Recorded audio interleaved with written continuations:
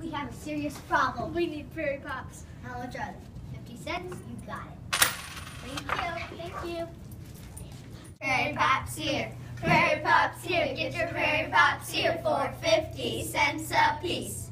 For a family in need. Word.